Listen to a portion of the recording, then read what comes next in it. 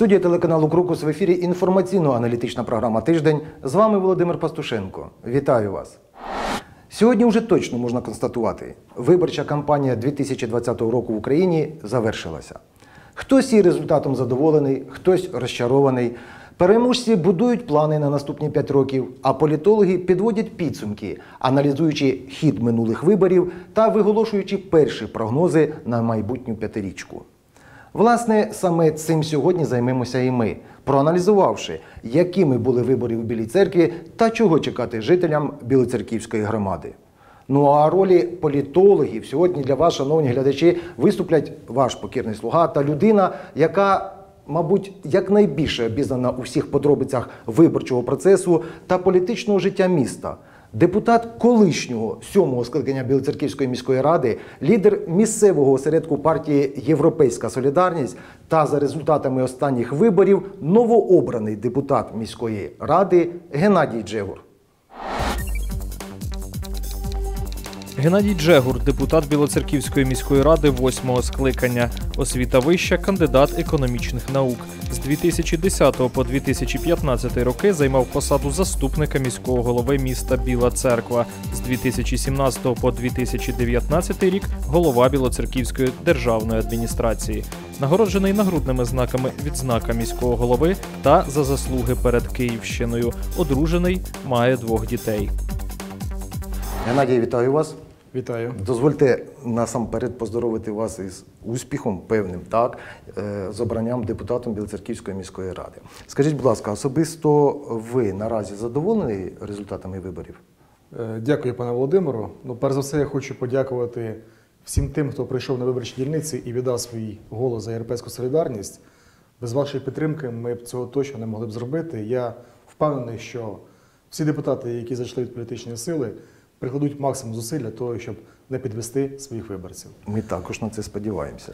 Але стосовно того, чи задоволений особисто я результатом, то е, дане питання я б розбив, мабуть, на два аспекти. Перше це результативний аспект, і другий це організаційний. Угу. Якщо говорити про результати виборів, то звісно, що хотілося б мати кращий результат, і щоб саме наша фракція Європейська Солідарність була представлена більшою кількістю депутатів у Білоцерківській міській раді.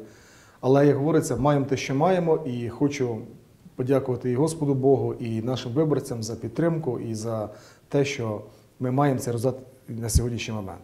Якщо говорити про організаційний аспект виборчого процесу і виборчої кампанії, то маю сказати і маю констатувати той факт, що він пройшов абсолютно красиво, назвемо його так. І я абсолютно задоволений тим, як перебіг, відбувався, відбувався перебіг саме виборчого процесу.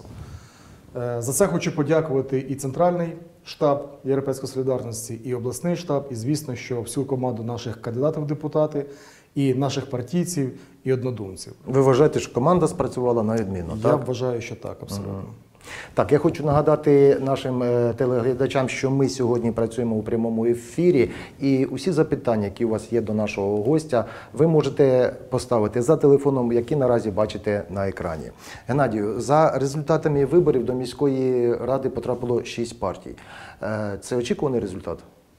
Ну, для багатьох я думаю, що він неочікуваний, тому що кожна політична сила, яка приймала участь у виборах, сподівалася на те, що саме їх виборці прийдуть і проголосують. Відповідно, е, їхня команда зайде в міську раду. Але якщо говорити е, про той факт, який стався, то він особисто для мене є абсолютно прогнозованим. Чому? Тому що е, проаналізувавши прихильність виборців, проаналізувавши їхню, е, їхнє ставлення до тієї чи іншої політичної сили, і посилаючись знову ж таки на різного роду соціальні дослідження, соціологічне дослідження, вибачте, ну, абсолютно прогнозований, прогнозований результат, тому що проводилися неодноразові зрізи рейтингів політичних сил, як незалежними соціологічними компаніями, так і самі політичні сили їх проводили, то згідно із цими даними, якраз цей результат є сьогоднішнім. Соціологи сьогодні навчилися більш-менш давати правильний Є прогноз. певні, да, були певні похибки, але в будь-якому Але в цілому в цілому, е, скажімо так, в цілому результати вони підтверджені. А як взагалі у місті пройшов виборчий процес? Удалося е, уникнути цих всіх складних суперечливих моментів? Насамперед, от якщо проаналізувати будь-яку виборчу кампанію, починаючи там, нехай 10-й рік, 15-й рік, і незалежно від того, яка б ця виборча кампанія була, чи це вибори президента, чи це вибори е, до Верховної Ради України, чи то місцеві вибори, жодний вибори не проходили без складних моментів. Угу. Не виключенням абсолютно і є саме місцеві вибори 2020 року. Для цього, ну скажімо так, я можу кілька моментів назвати, які були абсолютно складними і неприйнятними. Не те, що вони були складними, але вони були абсолютно неприйнятними з точки зору і дотримання чинного законодавства України, дотримання Конституції України. Зокрема, я зупинюсь там на кілька на кількох моментах для того, щоб там не займати, не займати багато Мгм. часу в прямому ефірі. Ну, перш за все, е, всі, мабуть, знають про так звані п'ять питань президента. Так, звичайно. Ці п'ять питань президента були проведені не на державному рівні, хоча вони охопили всю територію України, а були проведені всього-навсього однією політичною силою це слуга народу. З якою метою, я думаю, це абсолютно не секрет для виборців і для нас. Це лише тільки для того, щоб всупереч Конституції України, всупереч Виборчому кодексу України, таки провести приховану агітацію за їхню політичну силу. В наглу, я скажу так, тому що ну, президент перш за все повинен бути гарантом додержання Конституції ну, і, і законів України. Ми бачили абсолютно протилежну дію з їхньої політичної сили, коли перед виборчими дільницями стояли люди в брендованих, брендованому одязі і таким чином спонукаючи підсвідомо чи свідомо людей приходити тобто, і таки віддавати перевагу одній з політичних сил. Я вважаю, це абсолютно було неприйнятним. Про це неодноразово ми наголошували і в засобах масової інформації, і в соціальних мережах, що це неприпустимий І взагалі у суспільстві ця ініціатива викликала неоднозначну Абсолютно. реакцію. Е, Але крім цього, хочу сказати, що і більш е, не, не такі незнані політичні сили, не хочу називати їх, але знову ж таки в день виборів, прикриваючись одноіменною назвою громадської організації, роздавали маски, стояли волонтери, так звані, із е, брендованими елементами, які співпадали повністю із брендом і логотипом партійної організації, яка приймала участь в виборах, роздавали маски. Знову ж таки, не соромлячись ні поліцію, ні виборців, вони це діло робили. В будь-якому випадку це знову ж таки спонукання виборців про прийти і дати голос, віддати голос за цю політичну силу. Знову ж таки, це абсолютно неприємна і неприємлемий результат, і неприємливі дії зі сторони даної політичної сили. І ще одне питання, яке б ну, хотів би я звернути увагу. Результати виборів були затягнуті. Оголошені результати виборів були затягнуті. Чим це Зачекалися виборці. Зачекалися. З чим це пов'язано? Пов'язано було з тим аспектом, що дільничі виборчі комісії не змогли, враховуючи, скажімо так, певні і складності в підрахунку, тому що нова виборча система, яка продовжувала період підрахунку голосів, але знову ж таки деякі дільничі виборчі комісії, переважна більшість дільничих виборчих комісій, не змогли правильно подати протоколи підсумкові по своїх дільницях, роблячи елементарні арифметичні помилки, або ж роблячи помилки вже безпосередньо в голосувальній частині протоколу. І відповідно, що територіальна виборча комісія була змушена їх відправляти або на уточнення, і це було неодноразово, або ж навіть приймали, приймалося рішення територіальної виборчої комісії про перерахунок бюлетенів на цих виборчих дільницях. В зв'язку з цим і оцей процес він розтягнувся в часі, затягнулося оголошення результатів виборів як по міській раді, так і по районній раді, і так і по обласній раді. Через те ми отримали ці результати набагато пізніше, ніж навіть очікували. Ну, От ви говорите, що члени комісії робили елементарні математичні помилки, так? Але самі члени комісії, багато хто з них заявляє, що все-таки занадто складною виявилася нова виборча система, навколо якої останнім часом точилося дуже багато різноманітних розмов. От на вашу думку, ця система, нова виборча система, себе виправдувала? Вона має право на подальше життя? Чи все-таки її потрібно змінювати, удосконалювати, можливо? Якщо ми говоримо про оформлення протоколу членами дільничої виборчої комісії, то, ну, як на мене, там складного нічого особливого не було. Просто що воно було розтягнуте в часі, оскільки потрібно Уважність, було так? уважність і просто-напросто потрібно було прочитати елементарну інструкцію по заповненню цього протоколу. Підготуватися до цього Тому що там було ряд наданих методичних рекомендацій, е, де було чітко сказано, який порядок підрахунку, яка е, частина повинна арифметично додаватися, яка складатися, яка відпов- і відповідно відображатися в- ну, у кінцевому протоколі. На жаль, маю констатувати той факт, що це стосується не всіх, і нехай мене вибачать е, дільничі виборчі комісії, члени дільничих виборчих комісій, але переважна більшість керівного складу дільничих виборчих комісій, як виявилося по факту, була абсолютно не готова до такого виклику. І через те ми мали, маємо результат, який призвів до того, що Мається на увазі, що якісний склад комісії Який- залишав бажати кращого. Абсолютно вірно. Якісний склад комісії, як показує практика, ну, скажімо так, набагато, набагато е, по якості гірша, скажімо так, ніж була на попередніх виборах. А Скажіть, а місцева влада повинна якось ну, прикладати таких зусиль для навчання членів виборчих комісій? Ну, скажімо так, місцева влада, вона, я тут не, не хотів би говорити, що це вона винувата, вона абсолютно в цьому не винна, тому що, ну, перш за все, це покладалося на політичні сили, тому що вони саме давали своїх представників, і тут, мабуть, політичні сили повинні були більше Не допрацювали, так? більше уваги приділити саме навчанню своїх дільничих виборчих комісій, у членів дільничих виборчих комісій, від яких ну, які були делеговані саме політичними силами. Якщо ми будемо говорити про другу частину вашого запитання, що стосується самої виборчої системи, то вона була складною перш за все для самого виборця. Чому? Тому що, по-перше, величезна кількість е, кандидатів в депутати була представлена. По-друге, те, що показує практика, коли ми почали спілкуватися навіть з виборцями по виборчих округах біля будинків, там організовували зустрічі і так далі, то багато хто просто не розумів, яким чином потрібно прийти і проголосувати. Вони не розуміли, що потрібно ставити відмітку буде в двох місцях. Запутались, люди запутались. Просто-напросто запутали, що потрібно ставити е, відповідну відмітку, там, чи галочку, чи плюсик, чи хрестик, чи ще якісь, якусь відмітку у першому квадратику за політичну силу, і потім потрібно було ставити номер відповідного Склад. кандидата, за якого ви хочете підтримати, і віддати свій голос. Е, І, скажімо так, результатом цього є величезна кількість невикор... е, бюлетенів, які Зіпсованих. зіпсованих бюлетенів. Це не багато, не мало, а 5,3% взагалі. Це багато. Це дуже багато, тому що в абсолютній цифрі, якщо я не помиляюсь, це е, понад 2 тисячі бюлетенів були зіпсовані.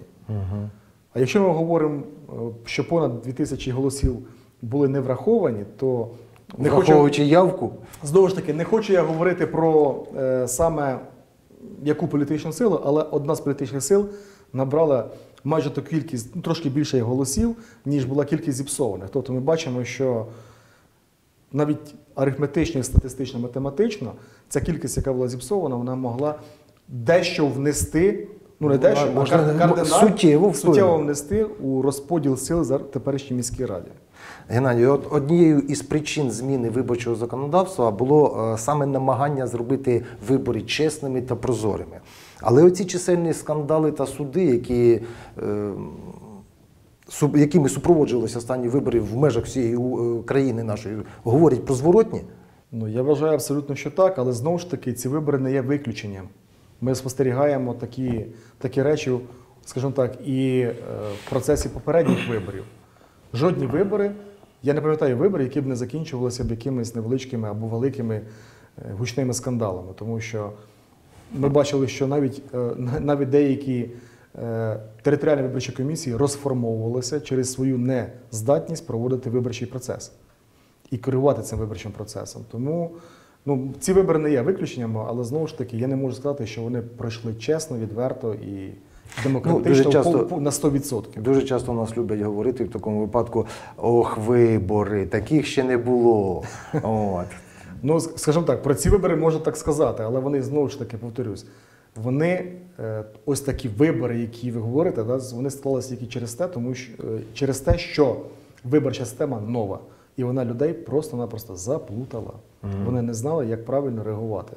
В тому числі ми бачимо, ну скажімо так, результати цієї нової виборчої системи і появці. Хоча тут багато факторів є.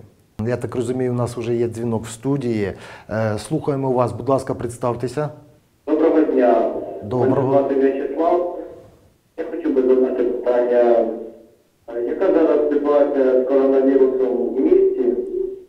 І е, що депутати, нові депутати будуть робити е, з покращенням ситуації коронавірусом в місті його боротьбою? Ага, добре, зрозуміло, дякуємо.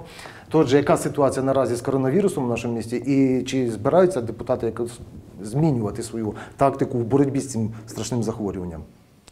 Ну, ситуація в місті, і як і в Україні, абсолютно є критичною, тому що лікарні заповнені, кількість людей, які е, хворіють на дане захворювання, постійно збільшується. Якщо не в геометричній прогресії, то в арифметичній це точно. І, скажімо так, якщо говорити про що будуть депутати змінювати, на жаль, ми змінювати нічого не зможемо, тому що існують чіткі протоколи по боротьбі з цією хворобою, які е, передбачені е, на рівні Міністерства охорони здоров'я України.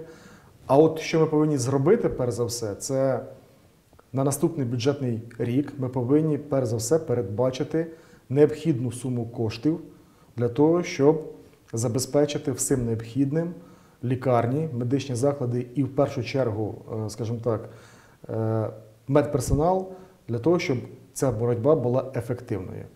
Якщо говорити про суму коштів, то я не побоюсь цього слова, але вона повинна бути мінімум, яка закладена на початок бюджетного періоду. Мінімум це 50-60 мільйонів гривень. От що саме яке завдання стоїть перед Це тільки новою- для початку, так я розумію? для початку, тому що ми не розуміємо, як далі буде Розвиватися вести- події розвиватися будуть. події, як себе буде вести цей вірус, і наскільки швидко, е, скажімо так, наша. Ну, наш народ він виробить цей колективний імунітет, про який говорять в тому числі багато багато медичних фахівців. Угу. Стосовно вакцини, ми чуємо, що йдуть активні розробки, і вже якась вакцина повинна тестуватися, і ніби є вже і вакцина американського виробництва, і вакцина е, німецького виробництва, європейська вакцина. Але знову ж таки ми розуміємо, що е, даної вакцини буде на перших етапах точно не вдосталь для того, щоб забезпечити всі країни світу, тому що це світова пандемія, це не локальне питання Білої церкви чи Київської області, чи навіть України. Це світова проблема. І тому потрібно буде перш за все це забезпечити всім необхідним медичні заклади, а самим людям потрібно дбати про себе яким чином. Сам дотримуватися самих елементарних Правильно. речей гігієни. Тобто маску потрібно носити, Не нехтувати цим не нехтувати і дуже часто просто-напросто е, користуватися милом і антисептиками, тому що це теж важливий фактор саме в захисті самого себе від цього вірусу. Е, на сьогоднішній момент хочу сказати, що влада дослухалася, скажімо так, до наших пропозицій, зокрема до моєї, тому що я на початку вересня писав, написав листа на міського голову щодо того, що необхідно забезпечити страхування медичних працівників, працівників освіти. І сьогодні ми бачимо, що ряд медичних працівників вже застраховані, але, на жаль, не всі, тому що мова йде лише про страхування тих медичних працівників, які безпосередньо працюють у сфері боротьби із коронавірусом. Але, на жаль, працівники первинної ланки медицини, які знову ж таки знаходяться на передовій, вони поки що Так, не застраховані, так. тому ми повинні і це питання ставити на порядок денний і забезпечити їхнє страхування. Це дуже це теж досить таки важливий аспект е, допомоги нашим медичним працівникам. Тому, е, шановні телеглядачі, вакцина вакциною, але перш за все потрібно покладатися на власні сили і на здоровий глузд. А також хочу вам нагадати, що ми працюємо у прямому ефірі, і свої питання ви можете поставити за телефоном, який ви наразі бачите на екрані. До речі, якщо говорити про коронавірус, епідемія якось вплинула на явку виборців. Така низька явка це все-таки свідчення епідемії чи все-таки розчарування українців у політичних процесах? Ну, явка е, на цих виборах була 32%. І знову ж таки, ця явка, е, я не побоюсь сказати, що на явку вплинуло кілька факторів.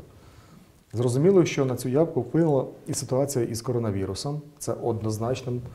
Але крім цього, е, є ряд моментів, які пов'язані, по-друге, з самою складністю системи виборчої.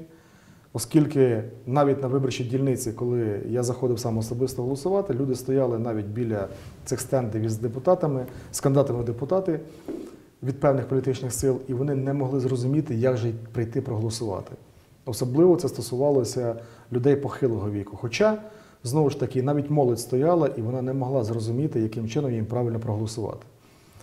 Ну і третій немаловажливий фактор це ми бачимо, що люди глибоко розчаровані взагалі політичною системою і тими політичними подіями, і політичними, да, політичними цими перебігами, які відбуваються взагалі в цілому в країні. Через те тут я б назвав би три фактори. Це пандемія, другий фактор складність виборчої системи, і третє це Розчарування. розчарування людей. Ну, вже відбулася перша сесія. Вона була установчою. Е, Якщо повертатися до минулої міської ради, то вона на початку своєї роботи мала чітко виражену більшість, яка формувалася в основі якої лежали, е, лежала фракція самопоміч. Так? Вона була домінуюча на той момент у міській раді. Потім ця більшість е, мала більш такий ситуативний характер. Чого нам наразі чекати? У нас буде певна домінуюча партія у міській раді, і чи варто чекати створення більшості? І який характер буде мати ця більшість? Все-таки постійний чи ситуативний? Дякую за питання. Скажімо так, е, чим відрізняється міська рада там, або е, рада на місцевому рівні, тобто, якщо ми говоримо не про Верховну Раду, а про саме про місцеві вибори і ті е, ради, які сформовані після виборів вже на місцевому рівні. Немає такого розуміння, як коаліція, хоча ви про неї не згадували, але про, про- ви, ви до цього підводите. Угу.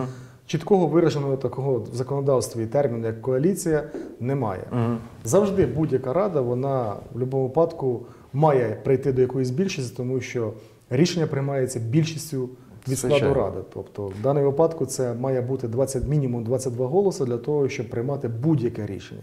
Зрозуміло, що в процесі, е, скажімо так, знайомства, в процесі певних моментів буде створена ця більшість, тобто без цього вона не може, тому що, е, слава Богу, у нас міс, скажімо так, місцевий рівень він не такий заполітизований, як на рівні Верховної Ради, і дуже багато питань будуть прийматися дійсно, які надзвичайно важливі з точки зору господарської діяльності нашого міста, в даному випадку вже і тих нашої об'єднаної громади, через те більшість в будь-якому випадку буде. Стосовно Давайте ми з вами стосовно- повернемося трошки пізніше до цього питання. У нас є дзвінок в студії наразі. Е, алло, слухаємо вас. Доброго дня. Доброго дня. задати таке питання. Да, представтесь, будь ласка. Мене звати Ена. Так, слухаємо вас. Хотіла задати таке питання. Чи в першу чергу нові займатимуться в нас? Так. Саме друге